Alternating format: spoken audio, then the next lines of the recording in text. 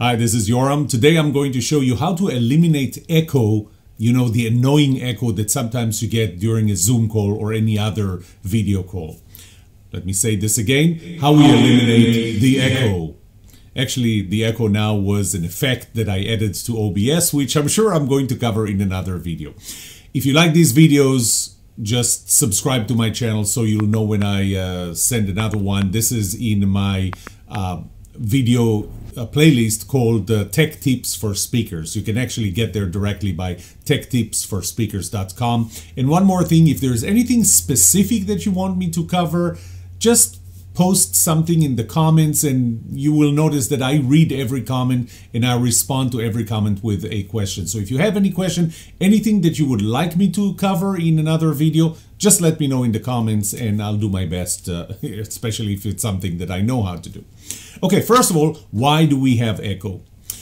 when we when we communicate over video there are two elements of audio one is there's a microphone the microphone is supposed to pick up our voice send it to the computer through the software over to the cloud and to the person on the other side or the people on the other side. Then we have speakers, and the speakers let us hear what people on the other side with their microphones uh, sound like and what do they say.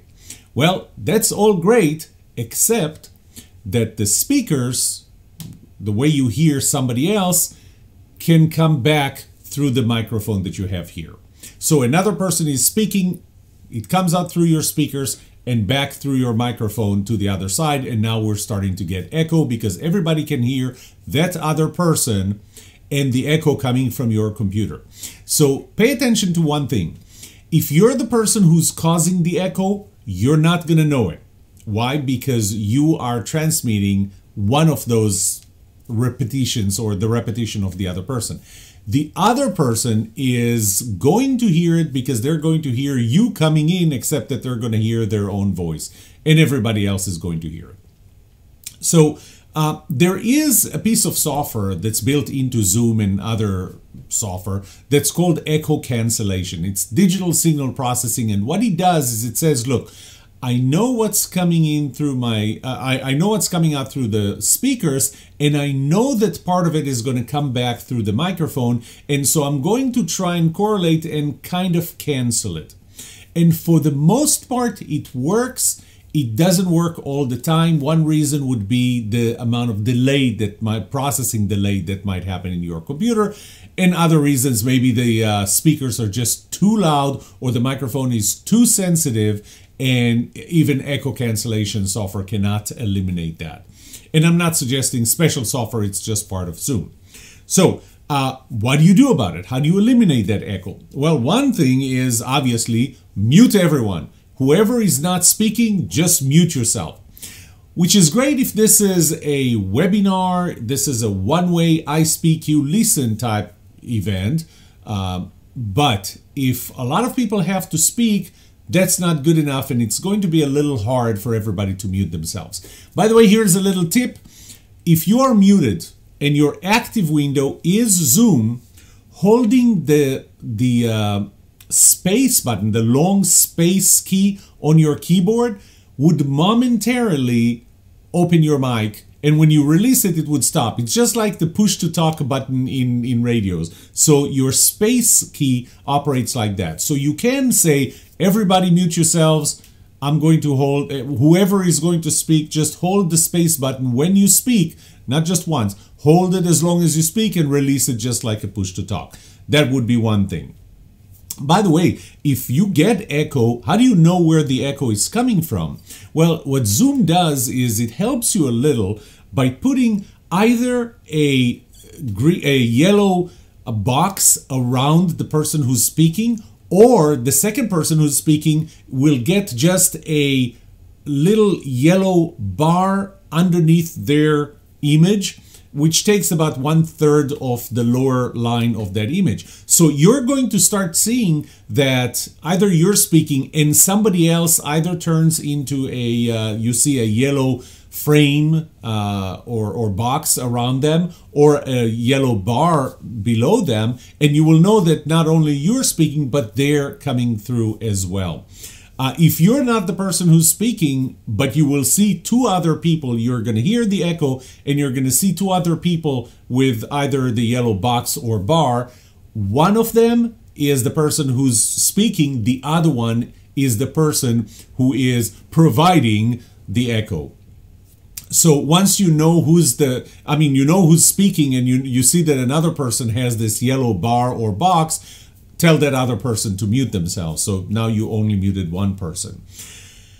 What else can we do? Uh, reduce the volume on your speaker. Uh, remember, echo cancellation software will be able to handle some echo, maybe not too much. So if you reduce the volume on the speakers, you may be eliminating it. I mean, the microphone is far enough away. Uh, the other thing is physically separate where the speakers are and where the microphone is. Uh, when, what microphone do you use? Uh, I use a Blue Yeti, and Blue Yeti has several, and, and other microphones as well that are used for uh, podcasting and, and things like that. Uh, they have different patterns and patterns means that the, the, microphone itself actually has multiple microphones in and has some digital processing inside and it says these are the microphones i want to amplify these are the microphones i want to eliminate.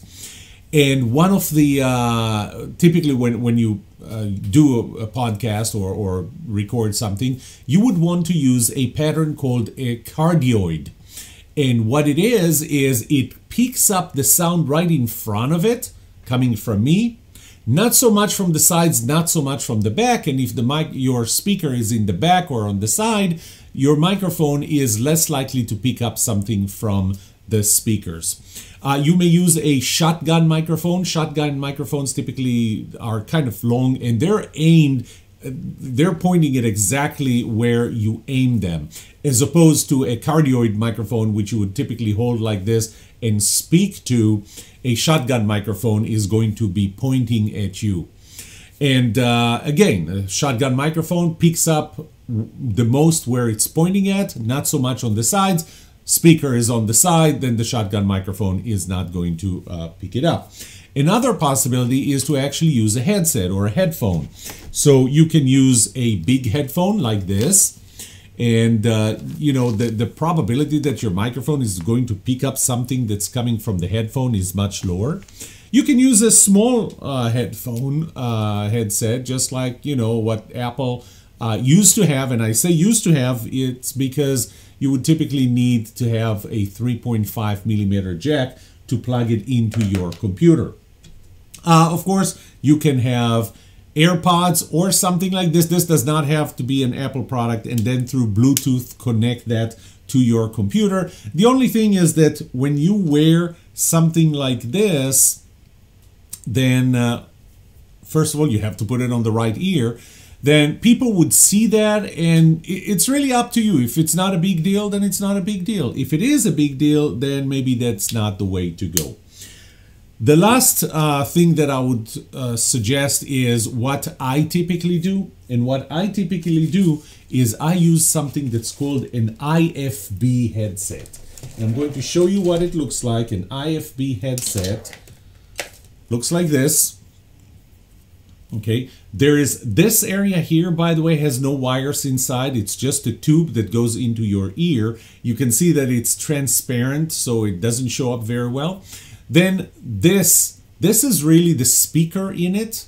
And so it sends sound into this tube. And then the rest is electronics and it has a 3.5 millimeter jack. Down below in the description of this video, I will post links to uh, pretty much everything that, uh, every device that I'm talking about. Uh, there is something that will allow you to attach this to the back of your shirt so it doesn't show. So really everything needs to be behind you. And then the IFB headset would just come in like this and you can see that nobody really can see that you have that unlike your uh, unlike your your headset your even uh, your AirPod see you can see the AirPod not so much the um, uh, not so much the IFB headset now uh, how much does an IFB headset cost I'm sure that if you look uh, hard, we can find one for $150. We can find one for maybe $200. I'm going to post a link to something from my favorite show, uh, my favorite store uh, called B&H, uh, B&H camera or B&H photography in New York. This is like, if you like photography and, or audio or something, this is like Disneyland. Uh, and it's in New York City. And by the way, since they only have one facility, uh, they ship uh, with uh, no tax because it's it's sold over the internet to another state. That is, if you are at another state. Anyway, the headset, the IFB headset that I have here, is not something that I got at uh, B&H. It's not something that cost me $75. It's something that I I paid just under $10 for. In fact, I found it now for $8.95 from Amazon. Is it the same quality as a $75 one? Probably not. But here's the thing this is not the quality by which other people will hear you. This is the quality by which you will hear other people. And so when you put that in your ear, you will have to um, uh, you you will have to be okay with the quality. I'll tell you something: a nine dollar quality is good enough. Now, one more thing: keep in mind that when you're in a Zoom call, you're used to select the camera that you're going to be using. You're used to select the microphone you're going to be using.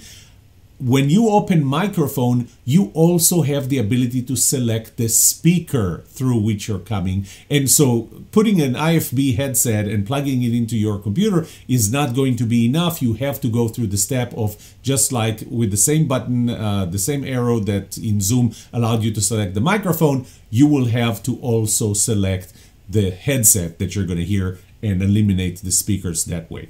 When the headset is here, microphone is not going to pick it up. And when I deliver a keynote, a workshop, or something like this, this is typically what I wear, and I got used to wearing it. This is how you eliminate echo. If you have any other ideas, post it in the comments before below. If you have any questions, post them in the comments below.